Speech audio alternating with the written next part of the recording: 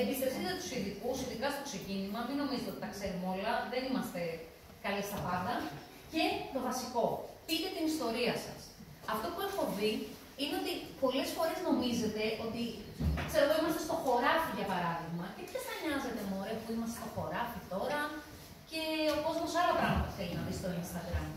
Κι όμως, εγώ που ζω στην Αθήνα, ξέρετε πόσο μεταξιδεύει μία φωτογραφία που θα ανεβάσετε που γίνεται κάτι στο χωράφι; Πόσο αληθινό μου φαίνεται και πόσο πολύ θέλω να το δω αυτό το πράγμα.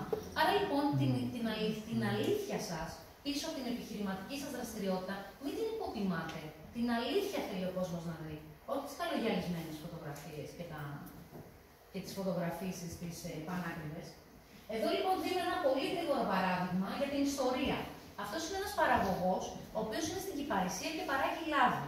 Όταν είχε πάει λοιπόν στον γραφίστα του για να του φτιάξει τη συσκευασία, του λέει ο γραφίστας, ποιο είναι το ανταγωνιστικό πλεονέκτημα αντίστοιχα του λαδιού σου κτλ. Και αυτός έλεγε έχει το καλύτερο λάδι, τα γνωστά, μπλα Και κάποια στιγμή ξέρεις κάτι. Το λάδι μου παράγεται σε μια φάρμα με πόνι. Αυτό λοιπόν το άφησε τελευταίο. Σου λέει ποιο νοιάζεται τώρα ότι εγώ έχω πόνι μέσα στο τέτοιο.